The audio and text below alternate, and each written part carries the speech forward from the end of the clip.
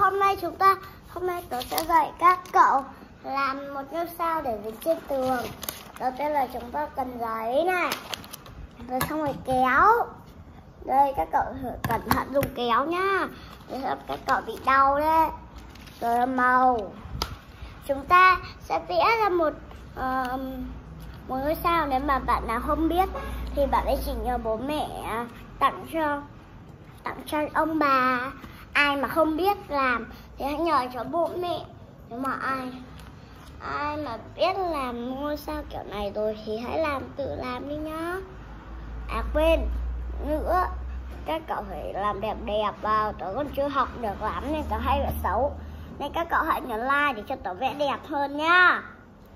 Các cậu mà không nhấn like thì tớ sẽ vẽ xấu.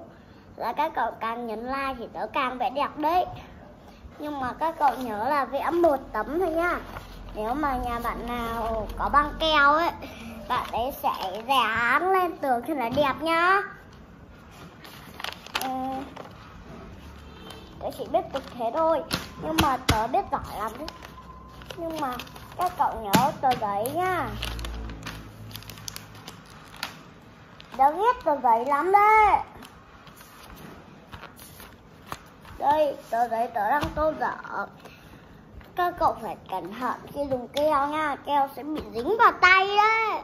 Và các cậu không thể nào thoát ra được keo đâu. Đó là loại keo này là loại keo siêu dính. Tớ sẽ um, tớ sẽ lấy cái này nha. Các cậu nhớ tô vừa vừa đây nhá cẩn thận lại tô bị trởm ra ngoài. Cô cẩn thận và nhẹ nhàng. ai là biết tô rồi, thì hãy vẽ đi.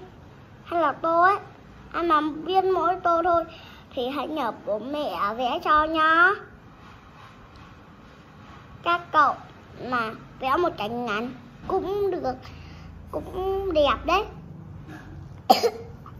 Bố mẹ bạn nào mà ghét bạn ấy, thì hãy tặng quà à, món Việt Nam này cho bố mẹ. Bố mẹ sẽ vui lắm đấy. Các cậu nhớ đăng ký kênh cho mình nha. Mình sắp kết thúc rồi. Mình tô xong cái đó là mình kết thúc luôn đấy. Mình nói thật chứ không phải nói đùa các cậu đâu. Tại vì lúc nào mình cũng phải làm việc nhiều việc lắm mẹ tớ sắp gọi rồi. Uhm, thì tớ sẽ làm cho các cậu một niềm vui nè hay là một niềm hạnh phúc. Nếu mà bạn nào làm sai lỗi gì thì hãy xin lỗi và làm cho bạn ấy quên mất điều mà uh, đã mình đã làm sai.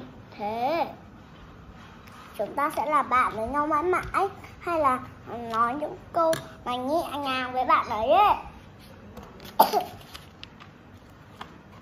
mình đang quay cho các bạn xem.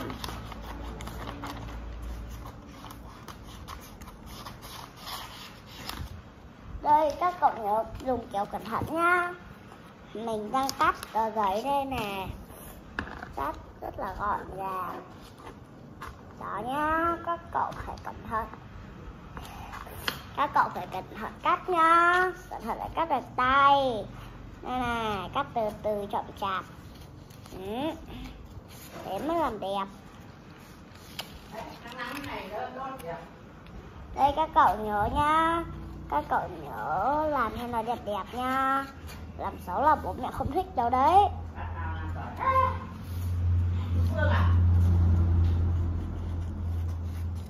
Các cậu nhớ nha. Cắt thì phải đều đều tay. Nếu mà bạn nào cắt xấu thì có một mẹ tốt, thì mẹ sẽ chỉnh lại, sẽ gọi lại cho mình đấy. Nếu bạn nào có mẹ tốt thì hãy nhấn like cho tớ nha. Mẹ tớ rất tốt. Và bây giờ video của tớ là kết thúc. Nếu mà bạn nào thích ngôi sao này thì hãy nhấn like cho tớ nha. Bye bye!